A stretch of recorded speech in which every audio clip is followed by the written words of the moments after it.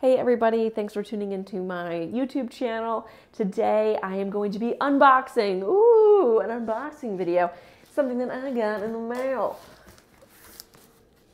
This.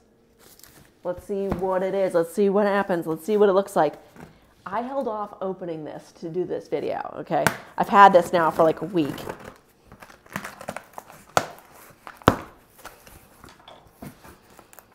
Ugh. Oh my gosh.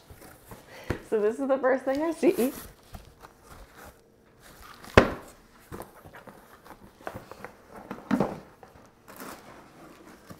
Oh my gosh. Super cute box. So Chonger, Chonk, Chongker, I want to make sure I'm saying this right. This is a company in China, so that's why I'm making sure I'm pronouncing it correctly. You can see. So these guys make very realistic looking pets. And again, this is my first time seeing this. So I'm to open it now. You can see it. I'll put it right here. Ooh, wow. Super nice packaging.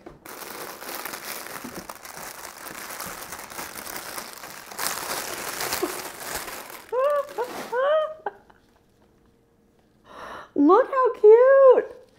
Oh my God, you're so cute. so, you all are getting my first impressions because again, I did not open this before this video. I had to wait. I had to wait. Yeah, that's my real cat. That's one of my real cats. Um, so this cat is super cute. This is going to be part of the uh, Memorable Pets collection now, right? I love working with Memorable Pets. They have a great selection of, of pets.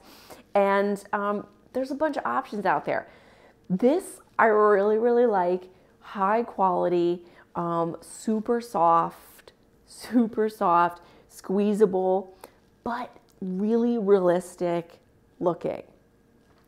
What's great about these, like the robotic, you know, versus the robotic cats, is these are a little bit easier to clean, for one.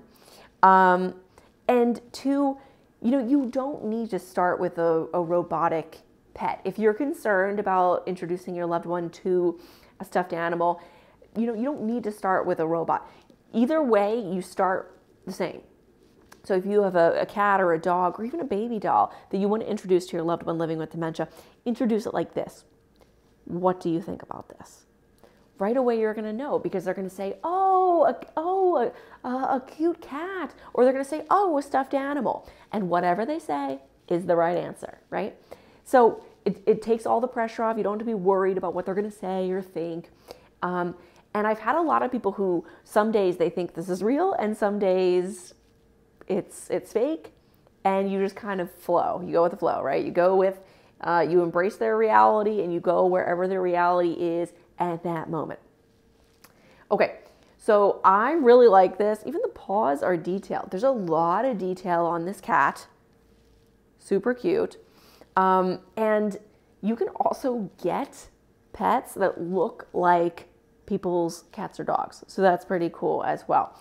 Um, it's a nice size. It's not huge, but it's not tiny either. It's not like a typical stuffed animal that you would see. So that's great. Super soft, makes you kind of want to like do this.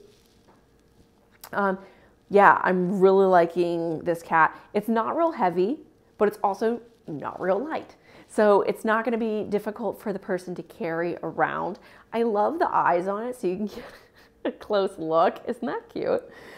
Um, really realistic looking. Yeah. This is a really nice product. It's also going to be a better price point than if uh, you're looking to get the robotic cat or dog. That's going to be a little bit more expensive. Those are a little over 100 bucks. This is going to be a better price point, especially if you're just trying it out for the first time and you're not sure if your loved one's going to like the cat or the dog. I would start with something that's not robotic just to see. And if they do love it, you can always go from there. Again, when you're introducing this, what do you think about it? Really cute product um, very soft, and there's my actual cat shoes. What do you think about this? Hey, shoes. She likes the box, so Shoes. Come on, pay attention to the cat. You know you're not really supposed to be on the counter at all. Okay. what are you gonna do? Loving this cat, very cute, very soft, from Chongker. Again, this is the company. Um, experience the fun of the fun of pet raising, but without the trouble of keeping pets. And again, if you have, and she's fully in that box. If you want to try this for a loved one, it's great because if they have dementia, they, they may have trouble keeping uh, taking care of, of a real live pet.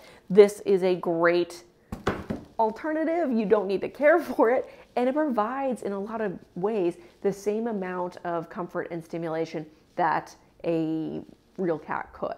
This can also travel with you. And let me tell you, that does not like going in the car. This doesn't mind going in the car. Thanks for tuning in. I hope this was an informative video for you. And um, subscribe for more videos like this one.